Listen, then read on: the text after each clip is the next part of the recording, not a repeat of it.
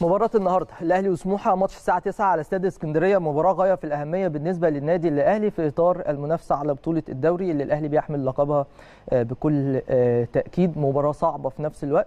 الدور الأول خسرنا من سموحة بهدف قاتل في الآخر 1-0 مهم قوي إن إحنا نفوز النهارده عشان يكون عندنا يعني دوافع معنوية جيدة في مرحلة غاية في الأهمية. تتمثل في المنافسة على بطولة الدوري. بعد ماتش النهارده عندك ماتشين كمان في الدوري وبعد كده هتلاعب كايزر تشيفز. فبالتالي التحديات كلها مهمة جدا جدا. هتحاول بإذن الله تعالى بعد توفيق ربنا تنجح في إنك تفوز بكل التحديات دي.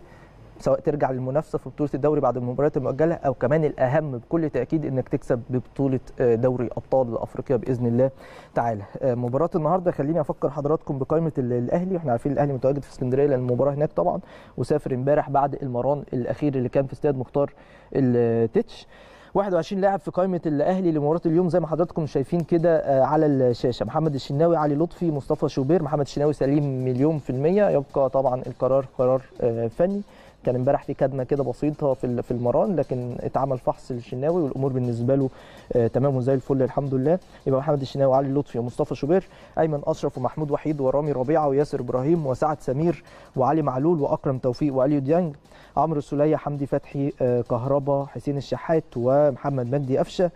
وطاهر محمد طاهر جونيور اجاييه صلاح محسن مروان محسن ومحمد شريف. دي قائمة الأهلي لمباراة النهارده أمام سموحة. لكن مين اللي تم استبعاده؟ لأسباب مختلفة بعض اللاعبين خلينا نقول بدر بنون للإيقاف محمد هاني لعدم الجاهزية وليد سليمان للإصابة محمود متولي لعدم الجاهزية بيكهام رؤية فنية ناصر رؤية فنية بواليا رؤية فنية محمد محمود وندفيد لعدم اكتمال جاهزيتهم للمشاركة في المباريات.